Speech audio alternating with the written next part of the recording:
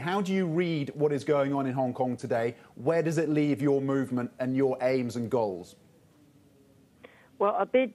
Um, I'm a bit emotional because uh, it's like, um, uh, well, it's uh, a, like a very big humiliation towards the um, uh, June 4th uh, massacre. Because today we need to uh, we need to vote on the national anthem law. Uh, and and then uh, we have a national security law upcoming very soon. So um, it's uh, it's like a very strong reminder that first uh, our our one country two system concept is eroding. Secondly, our freedom and rights are in fact uh, being intervened by uh, not only the SAR government, at the same time the Chinese government. How concerned are you that the United States has lost moral authority given the brutality that we've seen meted out to some protesters uh, in the United States and, in fact, some journalists as well? To what extent has that weakened the support that the US may have been able to give you and other supporters of democracy in Hong Kong? Well, this is, of course, there are some uh, very uh, uh, this uh, kind of disturbing scene, but at the same time, I understand that the movement in uh, in U.S. Uh, in fact, are getting more and more uh, peaceful. But at the same time, that reminds us about the police brutality uh, back uh, last year, since June um, last year. And that is. Um, well, of course, the government uh, should take uh, good care of uh, the citizens, but at the same time, uh, it is very important for the government to take action. For example, like to investigate into the, uh, the police brutality, and at the same time to remind people that and to ensure people can protest um, uh, because this is their right. Tanya, but do you think the pro-democracy camp is putting too much hope that the U.S. and foreign countries will step in? Because even if the U.S. does withdraw Hong Kong's special trading status, that ultimately does hurt Hong Kong. Well, for uh, legislators, uh, pro, uh, pro, uh, pro uh, democratic camp, uh, we in Hong Kong, in fact, are trying our very best to raise our concerns. But of course, we have some. Um, constraints because uh, it seems that the uh, SAR government um, is not uh, holding any kind of consultation. Uh, the consultation will only be done in uh, Shenzhen and Beijing, and only uh, some people will be picked by the government. For example, like the uh, president of the legislature, who uh, came fr- uh, who comes from the pro-establishment camp. So the government, the SAR government, refused to uh, listen to the Hong Kong people. Uh, well, for the legislature in Hong Kong, we are not.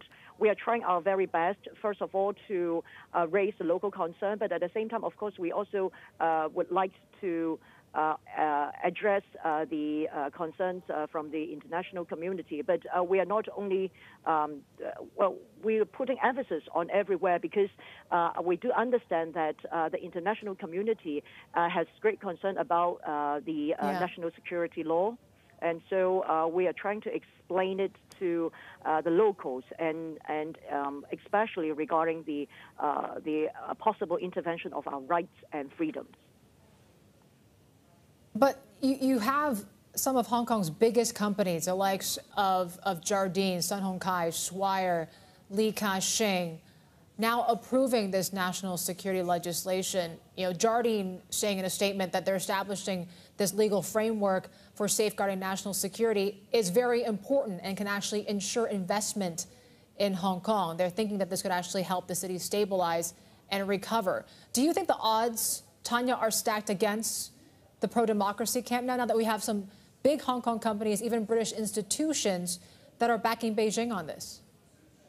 Well, of course, I have great concern about uh, the uh, ad, a full-page ad uh, published yesterday by uh, Jardine, uh, because um, especially because uh, there are there were lots of political pressure beforehand it seems that um, the freedom of having of doing business in Hong Kong are not respected by uh, by some of the uh, very iconic figure, for example, like the former chief executive uh, um, uh, Leung Chun-ying. So uh, I do believe that this is uh, some of the concerns in the business community, business sectors, because uh, um, they can do business uh, uh, as long as they abide by the law. But now it seems that political affiliation and their stance are, are, are extremely critical. Whether they can do business in Hong Kong very much depends on their political stance. So this is absolutely unacceptable and, and haven't seen you know, it's unprecedented. So I think this is, uh, it will cause a lot of concern not only locally but also internationally.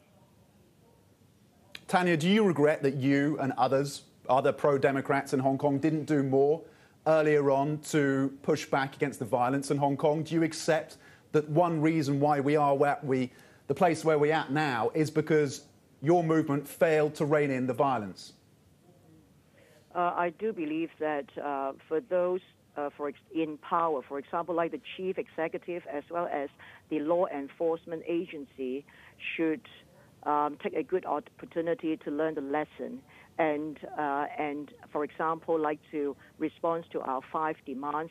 Uh, for example, setting up uh, an independent commission of inquiry in order to address the concerns uh, and also the um, the well, I, I, would say the grief, uh, the grievances of Hong Kong people. They are in power, and they are they should know what to do. And I do believe that they they should understand that um, uh, by putting more, um, you know, uh, a very restrictive law couldn't improve the uh, situation in Hong Kong because we are now under a very, very critical and sensitive situation. So uh, more restrictive law will only make the situation worse.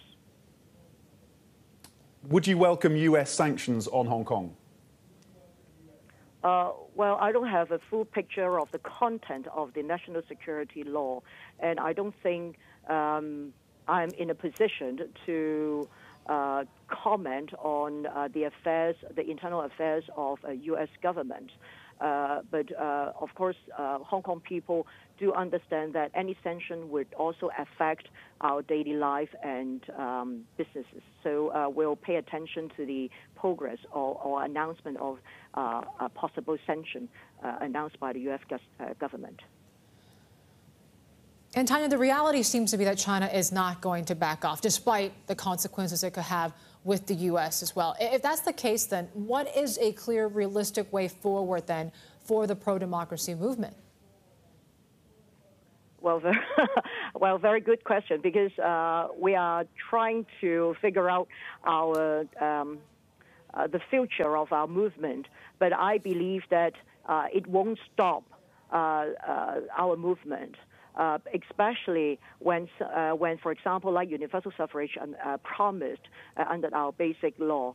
Um, so, uh, so far, I do believe that Hong Kong people are very strong and uh, they will continue to fight for democracy. It is not for because it is not out of self-interest. It's because it's good for Hong Kong. So uh, I don't think this kind of law will stop us. And uh, and especially I can see the young ones. They are very very determined, and um, and so I'm still quite hopeful. But of course we need to understand the reality and to figure out new. Uh, uh, well, new way to handle uh, the future, especially how we are going to um, uh, go forward.